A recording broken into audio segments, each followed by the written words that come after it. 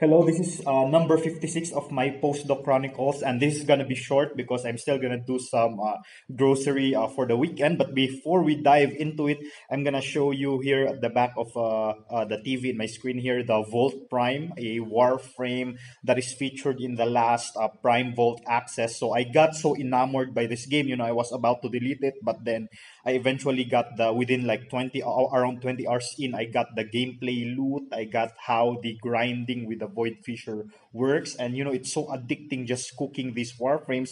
The only uh, adv- disadvantage is you you can actually play this the entire game for free, you know, without paying anything. But the only disadvantage with that is you are limited in the number of warframes that that you have. You know, you have these slots that are limited, and in order to open them to have additional slots, um, you need to uh, you need to buy them using this premium currency known as the platinum. And you know in principle you don't have to do that. You can you know uh, buy a new warframe and then sell the old one that you have but i don't want that. I want to ha- always have access uh, with the older warframes that i have. So this this game being very beautiful that it is it's like triple a level i you know i had to support the the devs behind that Digital Extremes so i i bought the prime vault and one of the featured warframes in the prime vault uh, a pack is this uh, Volt Prime. So basically, Prime Warframes are that are like hyper versions of the vanilla, the original Warframe. So in the starting game, you you have a choice between three Warframes: Volt, Mag, and Excalibur.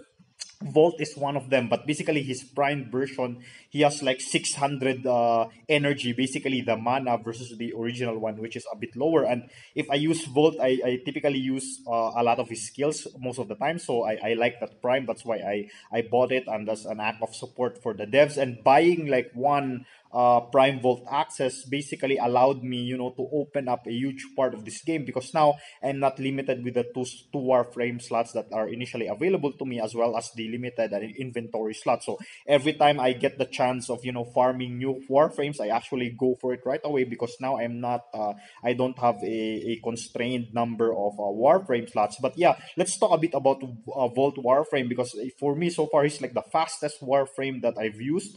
Um, Volt in and of itself, the, the, the vanilla one is already very fast because he has this speed skill.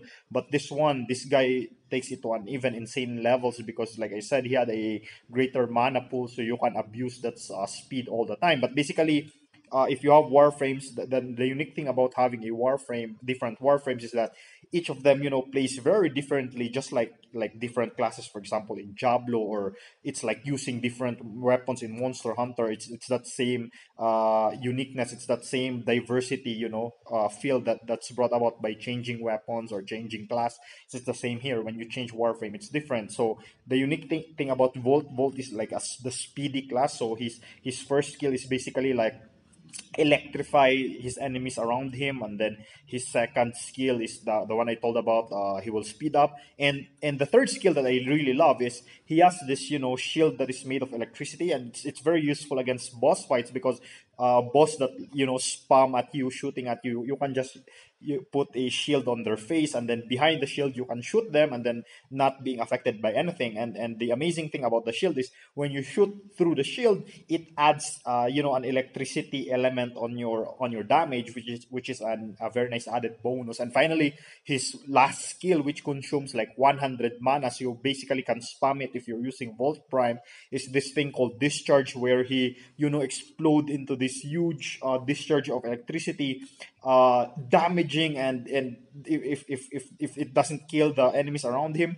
it stuns them you know and it gives you you know a chance to uh to spam like whatever weapon you have on their faces. But it's very fascinating. Yeah. So so far i've been playing this game a lot even though i'm so i'm so in love with Super Mario Maker 2, me and my friends, you know, that we, we got uh, into this game because the nice thing is if you play this uh, multiplayer, there's like a built-in voice chat and all those things. You, you can actually uh, speak through the Nintendo Switch. So this this is the game that uh, uh, me and my friends uh, back in the Philippines are playing right now.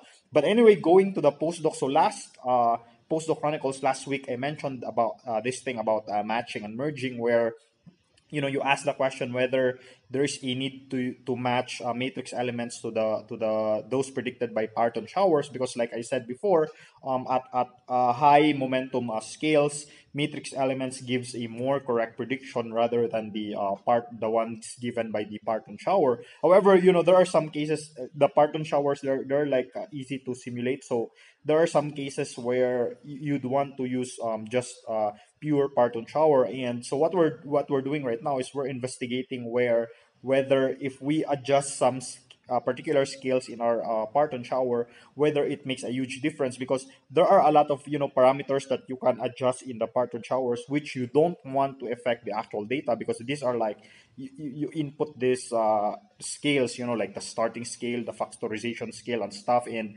uh, uh, effectively, you know, as, as much as possible, you don't want your uh, processes to depend on what scales you, you you put in there. Okay, so what we're looking at is if if we just use pure Parton shower and then we play with these uh, various scales. In, in particular, what we're, we're looking at is the starting scale. Okay, where where the Parton what what particular uh, momentum scale scale the the Parton shower uh, would dominate.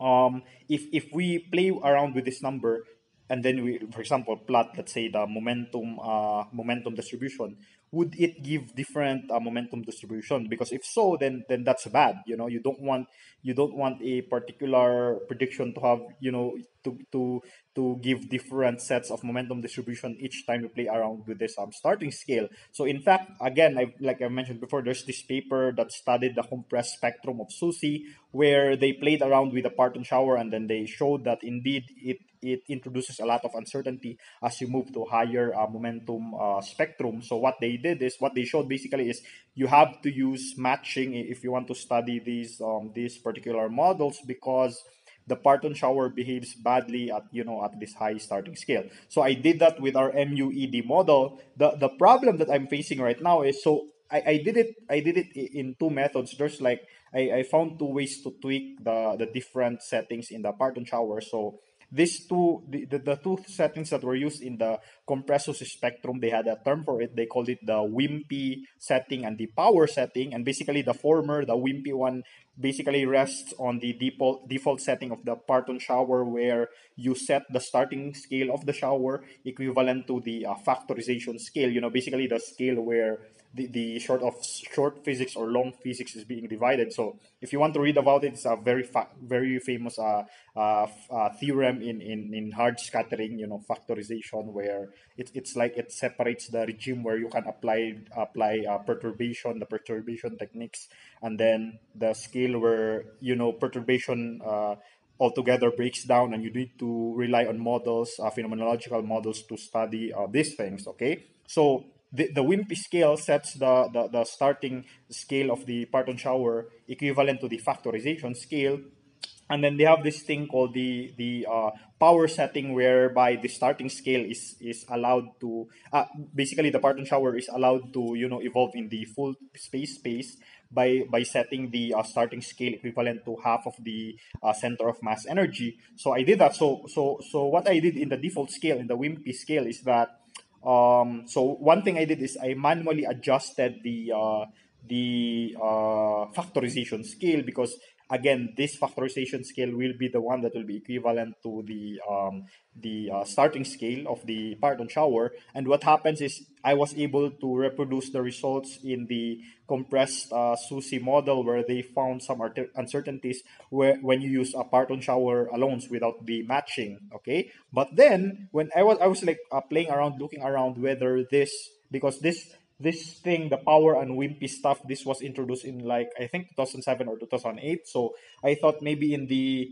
uh, later models of Pythia, they were able to you know introduce a toggle where you can uh, you can automatically switch between these two tests, two settings, power and wimpy. So I, I found that I found that thing. So the first thing I, I did is again I manually I, I adjust the, the the starting scale and then I found a uncertainty on the momentum spectrum. But then if I use the built-in um, Pythia switch between power and wimpy, the thing is when you I between power and wimpy I, when I again do the uh, momentum distribution I see no uncertainty at all. So now I'm asking you know my collaborators uh, Jong and uh, this guy Roberto in Spain I, and now I, I need their opinion which should be the correct one because when I do the power and wimpy scale by uh, by manually adjusting the the starting scale within the within the Pythia uh, run card, I get the uncertainty just like the uh, compressed SUSY paper for our MUED. But then if I use the automatic toggle switch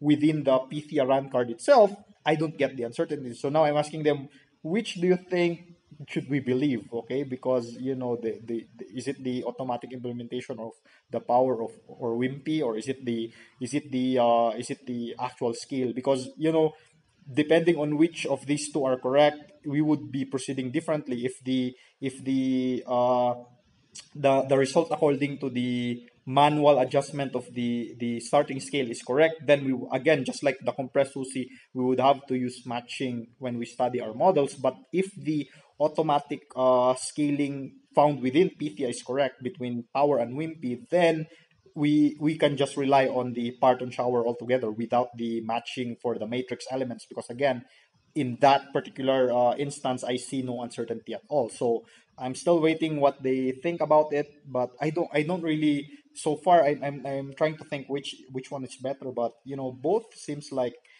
you know the correct way to do it but both give a different results so i'm still waiting for what they what they think about it. Okay? But anyway yeah I, am still gonna go to my uh, to do some grocery. This has been Postdoc Chronicles. In the next Postdoc Chronicles, expect me, you know, to instead of um usually I feature different um Switch games, but since currently I am addicting this game called Warframe, then I'll be featuring different Warframes that I've already used, I've already maxed, and then talk about their different skills and, and what they do. But anyway, thanks for watching. See you next time. Bye bye.